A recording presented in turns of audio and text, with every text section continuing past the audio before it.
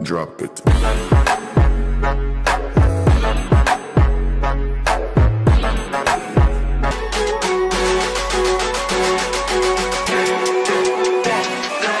Teach me about fucking style.